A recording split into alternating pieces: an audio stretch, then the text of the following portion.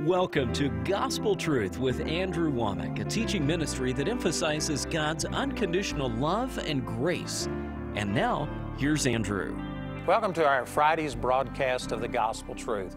Today is the end of my third week teaching on the believer's authority, and I tell you, we have covered a lot of material. You know, uh, most people do not understand how authority works, they don't understand how God uh, respects the power and the authority that He's given us, and He will not do what He gave us power and authority to do. And because of this, people just throw prayers out at God and think if God wanted to, God could heal me, set me free, He could change this person, they could be saved. And if they don't see the right results, they just take offense at God. And they don't understand that God will not do what He told us to do, what He gave us the power and the authority to do. That's just a major, major point, and I am constantly amazed how people just don't understand this. They think God could just do whatever. No, God gave laws and rules, and when God tells us that you have power to do this, now you do it, He won't do it for us. And so you can beg Him and plead with Him all you want, but it's not going to come to pass. I was using on my program yesterday Mark chapter 11, verse 23, where Jesus was telling His disciples how He cursed the fig tree and how He was able to die, and they were shocked at this, and He says, Have faith in God. And then He tells them how faith works. He says, Whosoever shall say unto this mountain, now, there's a lot in that verse, and I've, I've got actually many different teachings on this. I've incorporated this into a lot of my different teachings because it applies in so many ways. So I haven't expounded on this near as much as I could. But in Proverbs chapter 18, verse 21, it says, Death and life are in the power of the tongue, and they that love it shall eat the fruit thereof. One of the ways that you release the power of God is through words. God created the worlds by speaking them into existence. And when he was telling his disciples how he cursed this fig tree and it died, he said, Whosoever shall say unto this mountain, Be thou removed, and be thou cast into the sea, and shall not doubt in his heart, but shall believe that those things which he saith shall come to pass. He shall have whatsoever he says. Three times he emphasizes words and talks about how important they are. So, if you are going to operate in the power of God, one of the ways you release that power and authority is by words. And I specifically was emphasizing that it's important who you speak to also. He said, Whosoever shall say to this mountain. Most Christians talk to God about their mountain or their problem, their sickness, their poverty, their disease. But the Lord told us to speak to the problem, not speak to God about your problem. You know, let me give this example again. i am sure that I've used this. Of course, not every person watches every day, and even if you've heard this, uh, it's just a classic example, and it illustrates what I'm talking about so well. That I have a DVD that shows Nikki Oshinsky being miraculously healed. And I was in Charlotte one year. I was staying at some people's house the woman watched this uh, testimony about Nikki being healed, and she was just, when I came home, she was actually sitting there with tears in her eyes, just saying that was powerful. And that she had a friend with the same problem, and that this friend was coming over to get prayer. So this friend came in, it's a long story, but she had had this sickness for seven or nine years, something like that. The doctor said that on a scale of one to 10, her pain was a constant 11. They had actually said that she would not live through the year, and that was two or three years before, so she was already living on borrowed time. And the only way she was able to cope with this severe pain, besides pain pills and all of those things, she had magnets strapped to her body, and then she had magnets in a blanket, and she would wrap herself in this, and somehow those magnetic fields lessened the pain. And anyway, she was basically uh, just, you know, homebound. She couldn't do hardly anything. And this was a severe, severe problem. So anyway, I talked to her. It's a long story, but I talked to her for 20, 30 minutes, countered some things where she thought that God was the one who put this sickness on her, that God was getting glory out of her being sick. I countered all of those things. I got her to a place to where she believed that God wanted her well right then. I prayed with her and rebuked this pain and this burning, and instantly it left. The woman stood up, moved around, And for the first time in seven or nine years, whatever it was, she was instantly pain free. But then I began to take these exact verses from Mark chapter 11, verse 23, and I said, Now here's how you walk in this healing. And if you ever have another pain, it doesn't mean that you weren't healed. It's just like a knock on the door. It's the devil hitting you with a little bit of pain to see how you'll respond. And if you respond by saying, Oh, no, I wasn't healed, or Oh, no, I've lost my healing, well, either of those responses is opening the door and letting that sickness back in. But I said, if you'll do what I did and just speak to it and take your authority, then this pain will just go right on. It's like keeping the door shut. And he may knock a time or two, but you keep the door shut and he'll leave. And so I took these exact verses from Mark chapter 11, verse 23, and taught her to speak directly to the problem. Don't talk to God about your problem, but talk to the problem. So I taught her all that. Spent about 20 minutes. Anyway, we, you know, uh, she thanked me and we hugged and she was on her way out the door. And as she put her hand on the doorknob, she stopped and turned around and she says, The burning is back. And I said, Well, I've taught you now what to do. This is a knock on the door. And I want you to pray, and I'll agree with you. So I joined hands with her and this woman prayed, and you got to remember that just 45 minutes before this, this woman was Presbyterian. And she believed that God wanted her sick. She was praying for health, and yet she believed it was God's will for her to be sick, that God was getting glory out of it.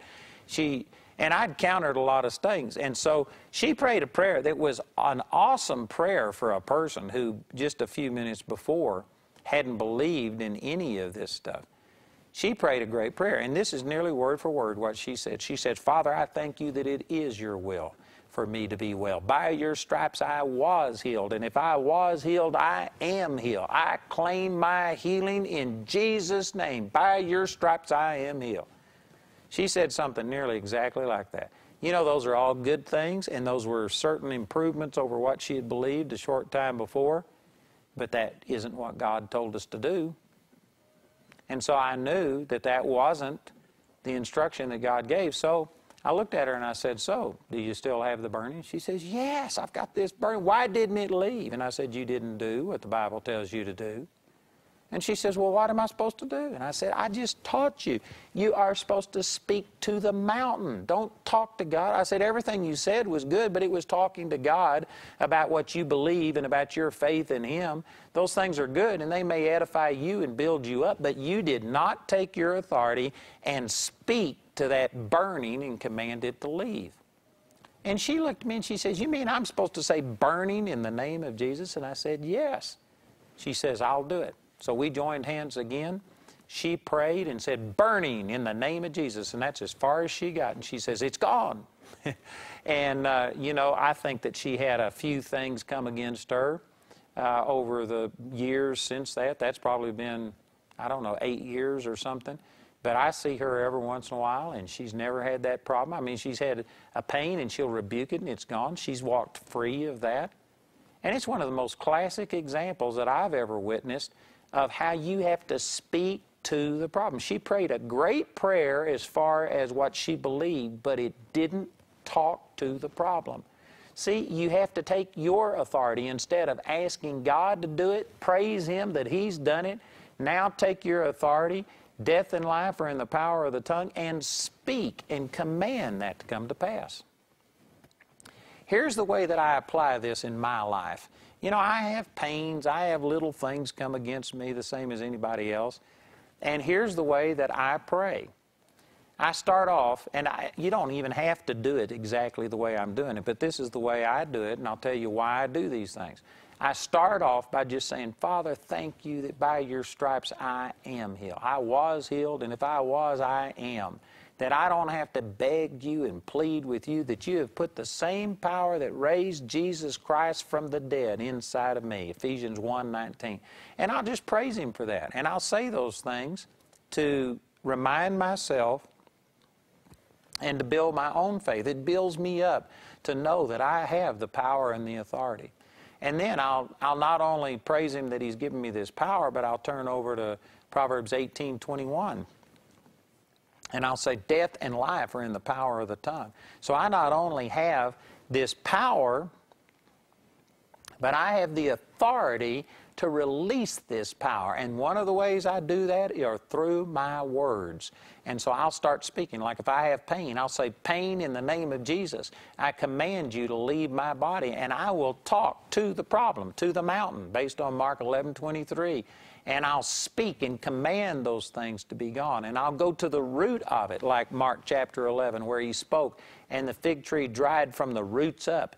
And I'll say, if there's something in my body that's causing this pain, I'll curse it at its root and command whatever it is to be gone. See, and I speak forth my faith, and then I'll go beyond just releasing death towards what's wrong, and I'll speak life into my body. Now, body, you recover if there was anything damaged by this, I speak the life of God, the quickening power, and I'll just speak resurrection life through my body. And then, based on the prayer in Mark, uh, Matthew chapter 6, where you know what people call the Lord's Prayer, you start with Our Father which art in heaven, hallowed be thy name. You start off praising God, and then you end with, For thine is the kingdom, the power, and the glory forever. After I've taken my authority and rebuked it, and I've cursed the sickness and I've spoken life to my body, then I'll just end it up with praise and thank you, Father, that this is done, that my body is recovering, and, and that's the way that I deal with things.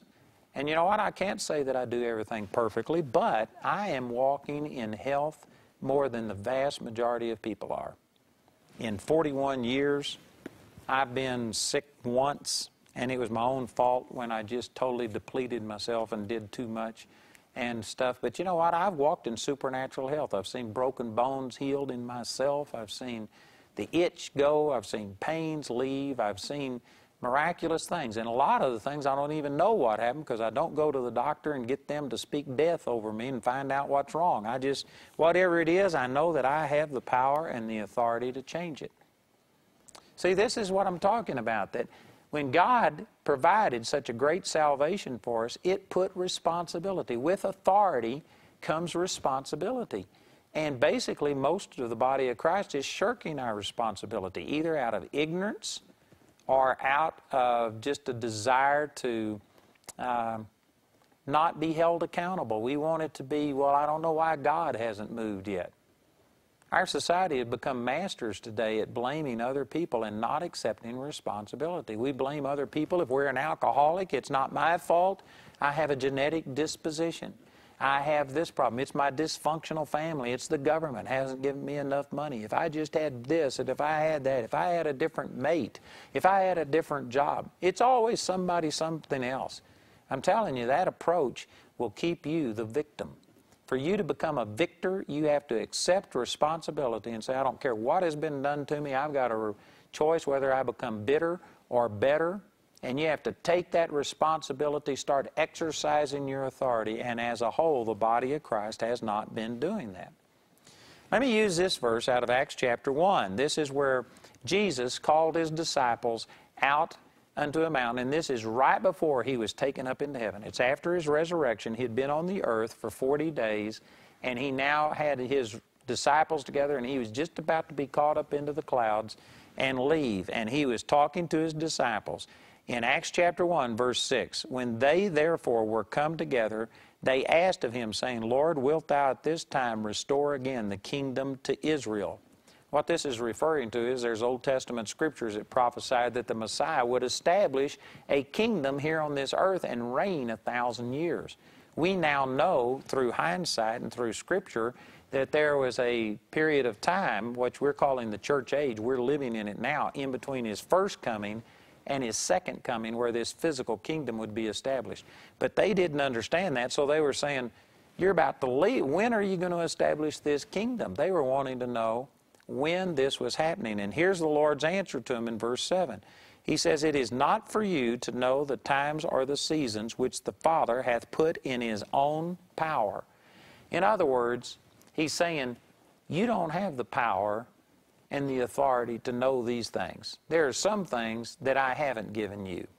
But in verse 8, he says, But you shall receive power after that, the Holy Ghost is come upon you, and you shall be witnesses unto me, both in Jerusalem and in Judea and in Samaria and unto the uttermost parts of the earth. The Lord is saying, You don't have power and authority to know all of the times and the seasons. But here's what you do have authority and power over, and that is you are going to receive power when the Holy Ghost comes upon you. This was fulfilled in Acts chapter 2 when they received the baptism of the Holy Spirit and spoke in tongues. And he says, when that happens, when the Holy Spirit comes upon you, you will be witnesses.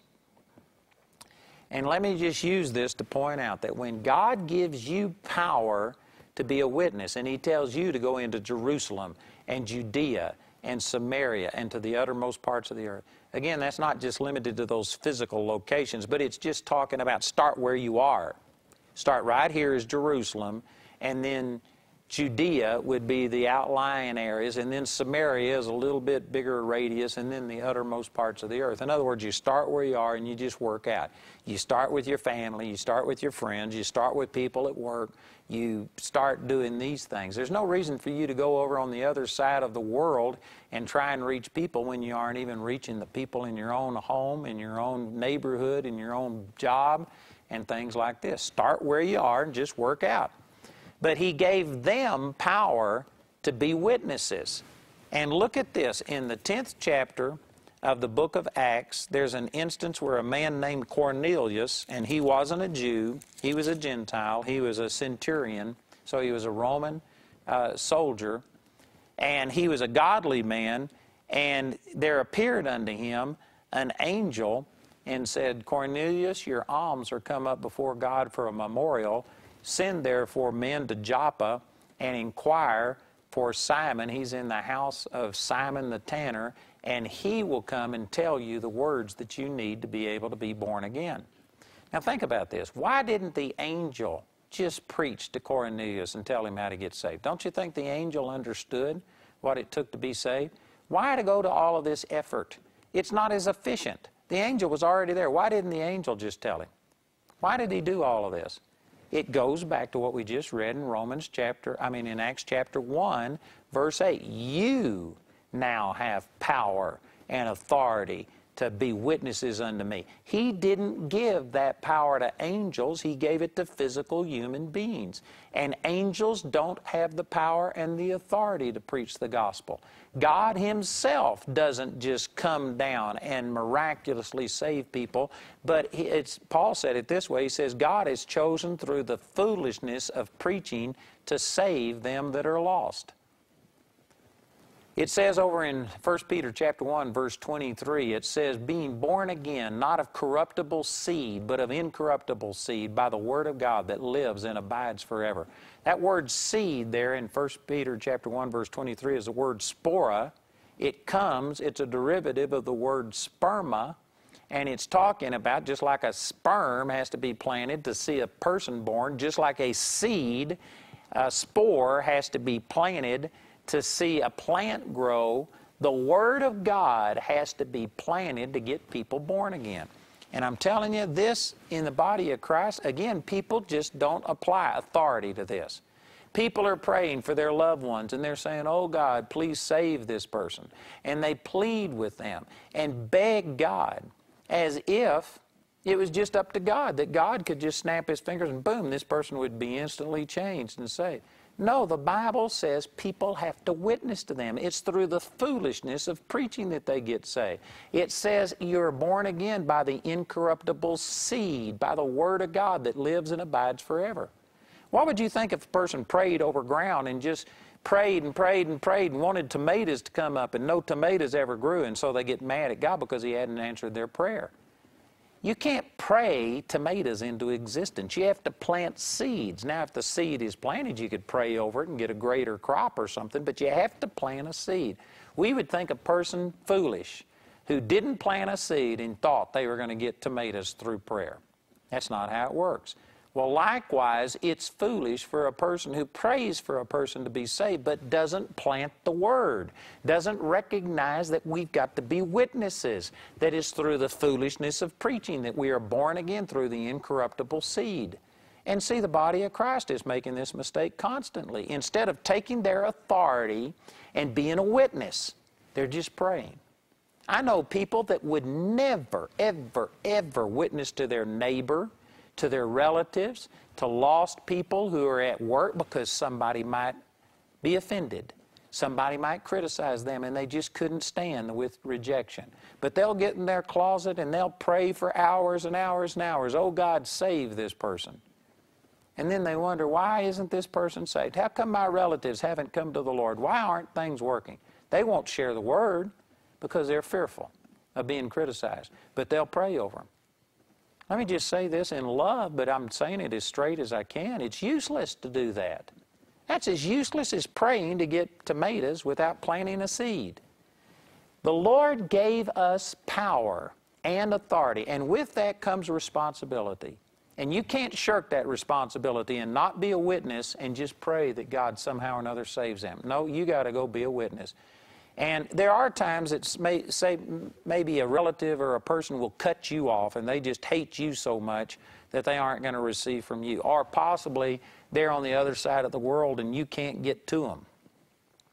There may be some instance where you can't physically be the witness, but if that's so, then you should pray Matthew 9:38 that the Lord of the harvest will send forth laborers into his harvest who will preach the word, who will plant the seed and things like that. But just to pray and say, "Oh God, save this person," without you taking your authority and preaching the gospel or praying that somebody else who has authority preaches the gospel, that's useless.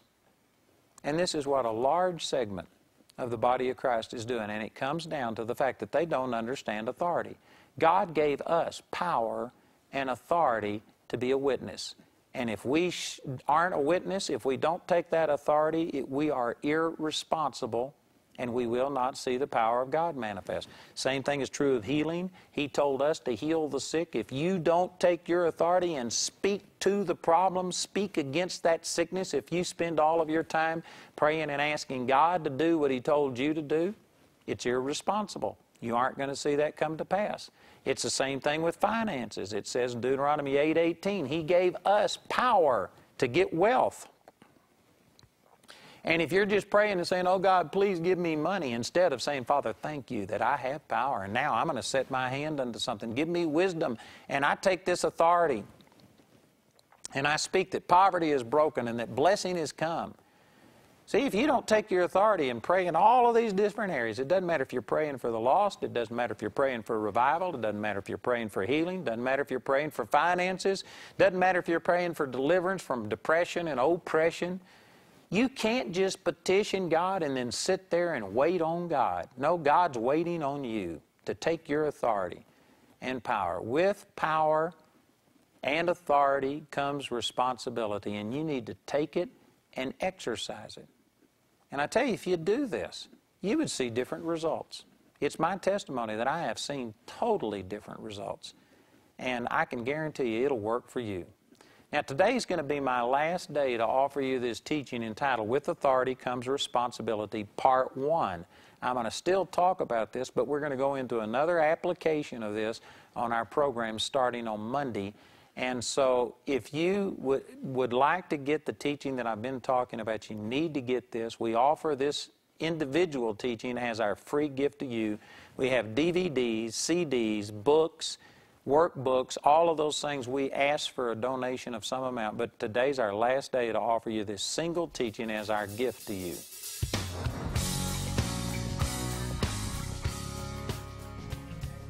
The Believer's Authority is available for the very first time in book form. You can receive your copy for £7.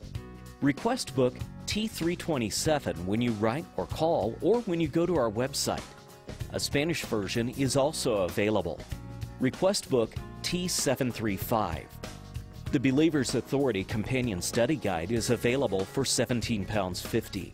Request study guide T427 when you contact the ministry. Andrew's complete teaching titled The Believer's Authority was recorded live at a recent Gospel Truth seminar.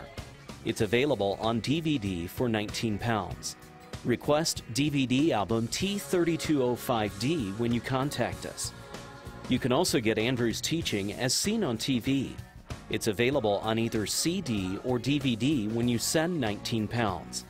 Request CD album T1045C or DVD album T1045D when you contact us. The third teaching in the audio CD album titled With Authority Comes Responsibility, Part 1 is also available for £3. But if you're simply unable to afford it, Andrew and his partners will provide this third teaching free of charge. Request teaching TL20 when you write or call, and we'll be pleased to send it to you. Let me just reiterate once again that today is our last day to offer you this single teaching entitled With Authority Comes Responsibility, Part 1. Now, this is a part of our Believers Authority set. We have a CD set. There's six teachings in there. This is the third of those six teachings. Today my, is my last day to offer that to you as a free gift. The reason I do this is because sometimes the people who need the teaching the most are the least able to get it. And so, because of that, my partners have enabled me, and we give away each individual teaching one at a time to those who could not or would not send in an offering. Today's my last day to offer this third teaching in the six part series on believers' authority. You can reach us through our website where you can order ministry materials online 24 hours a day, 7 days a week at awme.net. On our website, you'll not only find materials from today's broadcast, you'll find a wealth of resources free for you to download for yourself and share with others. Or you can use your credit card to order by telephone. Our helpline number is 01922 473 300.